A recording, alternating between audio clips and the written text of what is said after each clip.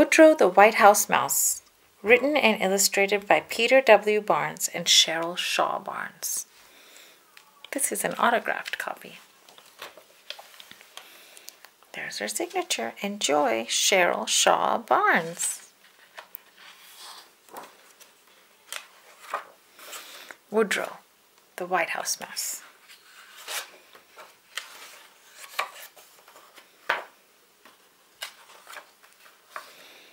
Every four years, like the rest of us do, the mice of the nation elect someone to. Someone smart, someone brave, someone good, not a louse, a rodent respected, a president mouse.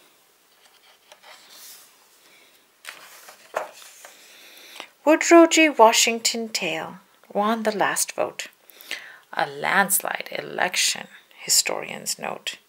A good politician, he won it with ease when he promised to double production of cheese.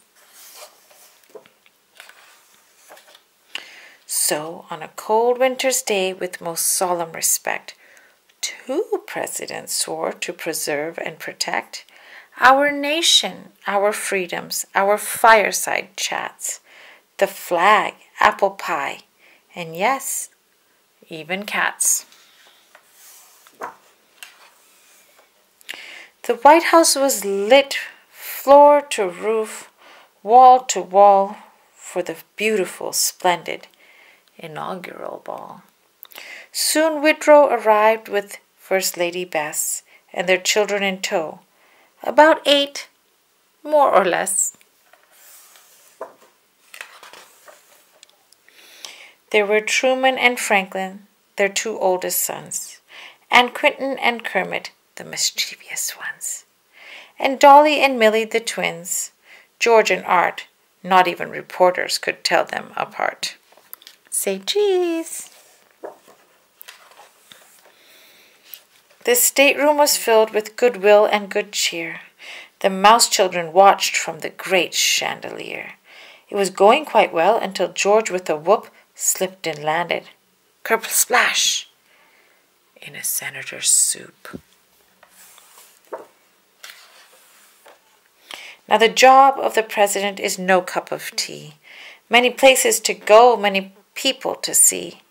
In the great Oval Office, his work is conducted, decisions decided, instructions instructed. Each day on the job, Woodrow jumped to his work. There was no time to dally and no time to shirk from his desk on a shelf with assistants around him, and a mind so perceptive no task could confound him. As quick as a blink, he'd go right down his list. There were poor mice in churches he had to assist, writing notes to supporters and babies he'd kissed, signing treaties to help cats and mice coexist.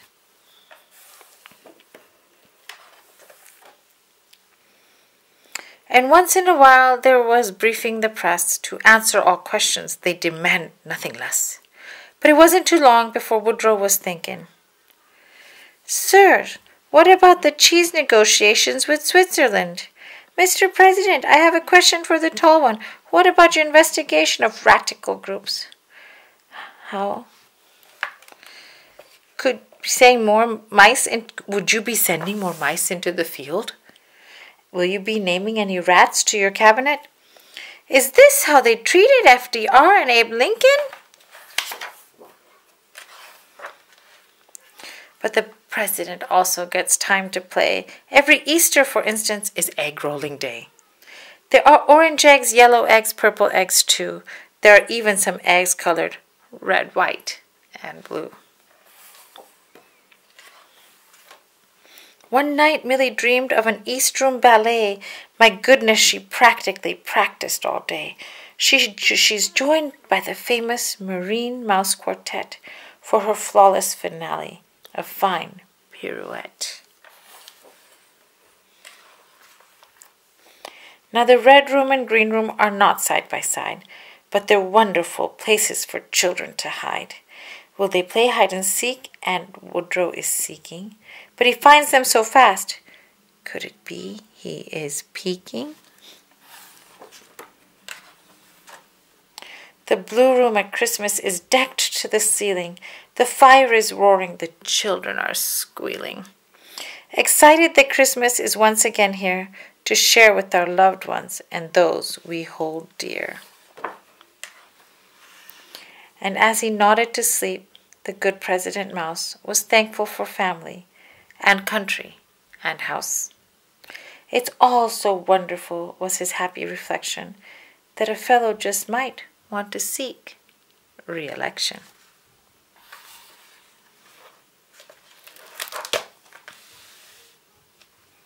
Thank you for listening. Please subscribe and like so you don't miss another story. If you have a story you'd like me to read, leave a note in the comment section below.